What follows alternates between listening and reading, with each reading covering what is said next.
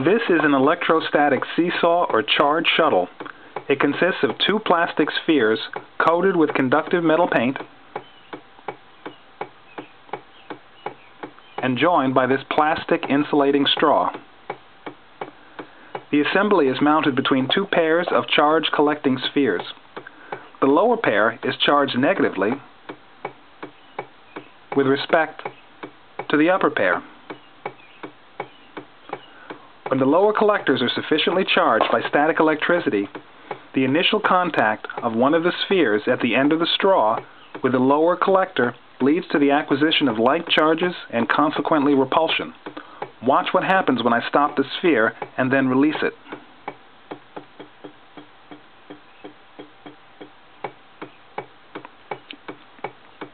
When this sphere travels upward, it transfers or shuttles the charges to the upper collector. This event sequence is mirrored by the sphere at the other end of the straw,